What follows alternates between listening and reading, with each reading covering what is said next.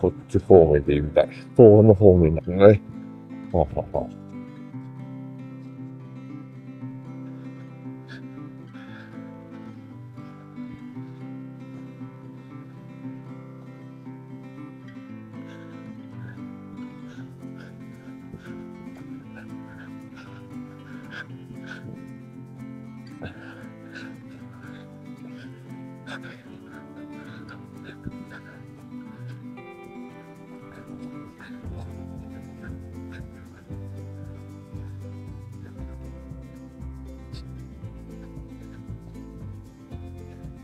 あと、そういえば、明日また一つ企画考えてるんですけど、今、それのために調べとったショッキングだったんですけど、あれ、亀山の快活クラブなくなっちゃったんですね。ええ。いやー、結構重宝していただけに痛いですね。最地企画の時はね、あそこに乗り込んで、行くというね、今回もね、ちょっと朝の6時2分発のね、列車に乗っかる予定があったんで、あそこでね、仮眠取ってから行こうかなと思ってたんですけど、どうもそれは無理らしいと。えー、睡眠時間がどうしても4、5時間になるのはもう確定なんで、なんかホテルに泊まるのはね、さすがにね、それだけの時間ってね、もったいないなっていう気がしちゃうんで。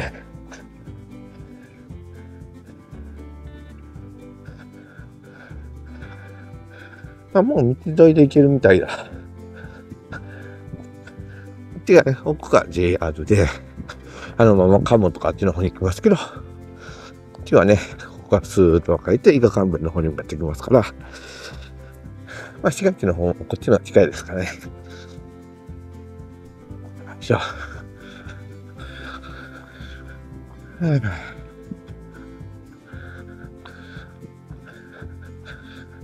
よいしょ。えー、いい踏切の表記もやっぱし、あの、近鉄風ですよね。あの、JR ってそれぞれのその、細かい地域名を当てる、あの、傾向あるんですけど、基本的に上の第2号、要は、上野駅から2つ目の踏切ですよっていう、えー、比較的機械的な割り振り方をするのが、えー基準点の駅ですね。0、0キロ地点の起点駅のところから、えー、何を、あの、手前にしてね、その駅から、えー、下っていく分の駅の何番目のっていう感じの付き方をすると。って言ってたら、あ、もうあれで着いた、2駅。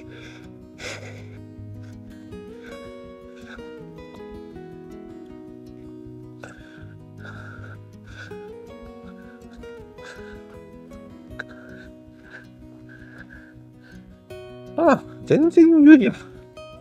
えー、これはもう、これで一本の動画になると思ったら、歩き得ですよ。よいしょ。あちなみに、あの、伊賀鉄道乗り換えの場合は、あの、直接も駅員さんに払って、そのまま伊賀鉄道の方でね、えー、取り扱いをすることもできるということらしいんでね。その場合、ライドパスだったらもうそのまんま、あの、チケットフリーで行けますから、来ちゃえるっていうのが便利ですね。切符買わないといけないってなると、結局一回改札で出て、あそこの切符売り場で買わないといけないのかな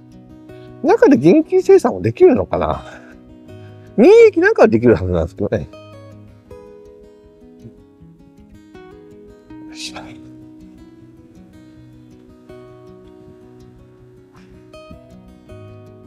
いうことで、